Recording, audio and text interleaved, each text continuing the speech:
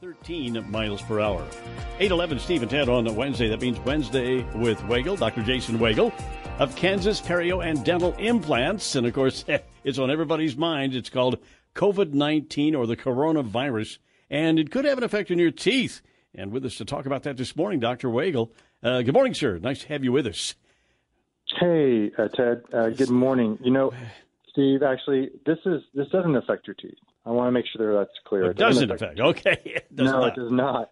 But it can increase the risk that someone you know or love who is over the age of 65 or is immunocompromised could become seriously ill. Yeah. Well, what what can we do to prevent? I know there are certain things we already know. What what what can we do though to, to prevent this virus? Yeah, you know, yeah. I think we already know. Wash your hands. Yeah, You've wash heard your that hands. a lot. Yeah. But you know, the, the the virus is essentially invisible. It travels on water droplets from person from a person's saliva or nasal secretions, just like any other cold or flu.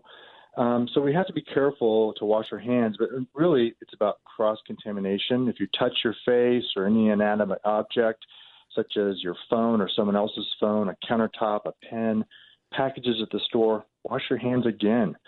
Keep social distances. Avoid being within six feet of anyone for more than you know 10 to 15 minutes, and avoid crowds or groups greater than 10 people.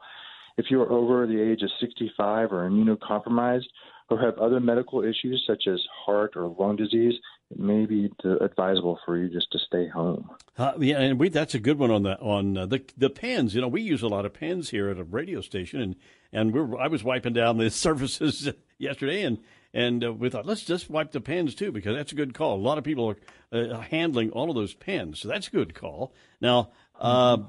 when you're talking about uh, a hand cleaner the Purell or whatever. What, what, what's your take on that? Is that is that effective? Is that good stuff to use? Well, they're saying it should should have about eighty percent uh, alcohol percentage if it's going to be effective. You know, soap and water is um, very important as well. It, you know, soap and water is ideal. If you don't have access to it, then use hand sanitizer. Yeah, and yeah, I, I know you're in, probably in the habit of washing your hands quite a bit already, aren't you?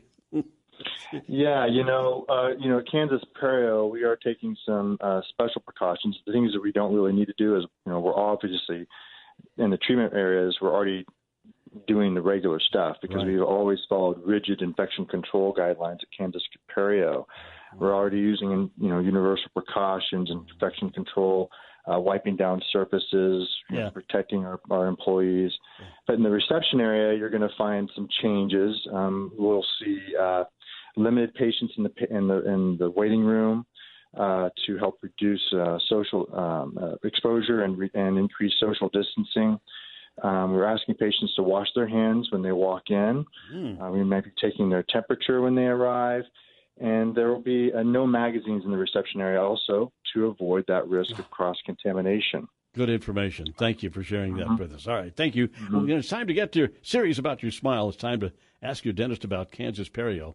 Learn more about their services online at kansasperio.com or call 316 685 2731. See, it's a good. Uh, he had uh, a lot of information, some information we already knew, but Dr. Wagle also, I was good about how, how is a dentist or a doctor handling that waiting room? Right. I know that I talked to uh, my daughter Stacy last night. Uh, she